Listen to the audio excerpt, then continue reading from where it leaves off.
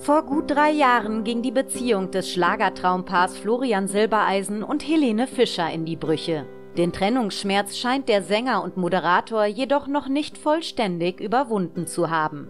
Denn in der ersten DSDS Live-Show am Samstag bricht der 40-Jährige plötzlich nach dem Auftritt eines Kandidaten in Tränen aus. DSDS-Kandidat Gianni Lafontaine sang den Song Hold Me Now von Johnny Logan, der von einem schmerzlichen Beziehungsende handelt. Dieser Song erweckte bei Florian Silbereisen einige Erinnerungen an seine Trennung von Schlagerqueen Helene Fischer. Mit diesem Song kann man mich sowieso immer erwischen. Denn genau das, was du da gerade gesungen hast, habe ich sozusagen erlebt. Bei mir ist genauso eine schöne Liebesgeschichte zu Ende gegangen, erklärt Florian Silbereisen ergriffen. Die beiden waren rund zehn Jahre lang liiert. Mit einer Trennung des einstigen Traumpaares hatte damals wohl niemand gerechnet.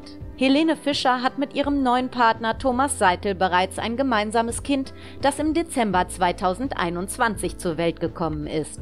Florian Silbereisen soll jedoch weiterhin Single sein.